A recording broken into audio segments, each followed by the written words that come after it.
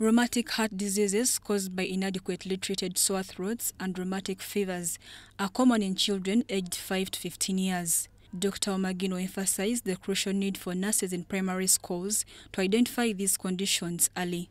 We should now reach the children, and most of the children are in rural schools. Move the services nearer to these children, and that is by way of getting every school attached to a nurse who can look down into the children's what so uh, throat and once picks some information that child should immediately be referred. It's a common infection in children but then later their body overreacts to this infection and the body ends up damaging itself and the part of the body that is most commonly damaged is the heart in a recent study conducted by the Uganda Heart Institute, researchers have developed an innovative method for screening rheumatic heart diseases using genetic information. So that study that is looking at the genetics, okay, genes are what we are made of.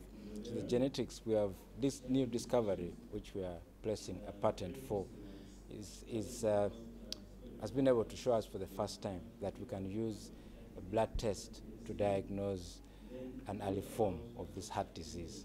Despite these advancements, the Institute faces significant bureaucratic hurdles in securing funding for research, which discourages potential funders from supporting these vital projects. Dr. John Baptist Waniaye, Commissioner of Health Services at the Ministry of Health, also commented on this issue, highlighting the need for streamlined processes to facilitate timely funding. After winning a research grant, the process for getting that money into the country, it, it is too long.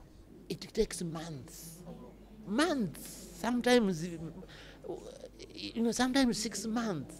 That should not take, it is real disadvantaging what as approval of uh, utilization of research grants is done by uh, the Minister of Finance because this is additional money into the country. So they are controlling it and so if there's a justification on the approval, I know it will be able to, to, to get a waiver or a new approach. But when someone approving is not known, then the funders uh, become hesitant in, in having those funds move. Dr. Omagino provided an update on the construction of the new Heart Institute in Naguru, with groundbreaking expected in August this year. We should be having groundbreaking. And once you groundbreak, 18 months, that place should be finished. And then equipping begins. So by 26, 2026, we should have something, or no, so we should be at equipping level. Cardiovascular diseases remain the leading cause of mortality in sub-Saharan Africa, with Uganda alone registering 18 million premature deaths annually. Mary Namkose, Irene Faith Nantongo, UBC News.